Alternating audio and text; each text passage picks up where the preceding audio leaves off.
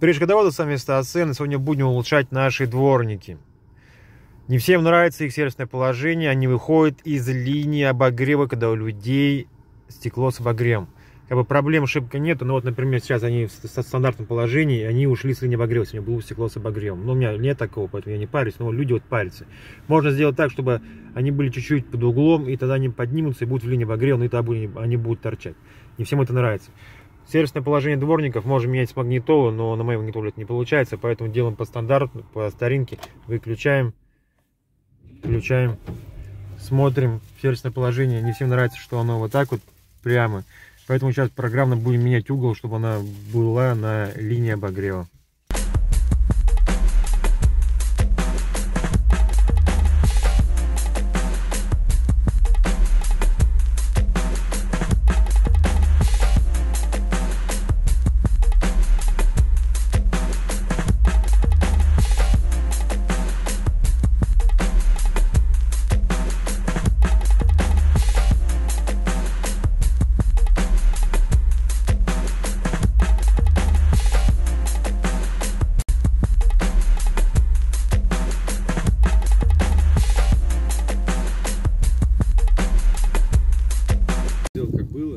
Да ладно, пофиг.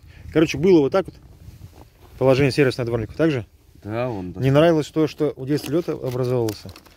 И дворники не попадали на зону, в зону обогрева стекла. Стекло с обогревом. Поменяли сейчас, как там было видно, настройки на 160. И вот теперь сервисное положение дворника, левое крайнее, попадает в зону отопления. Все, получилось.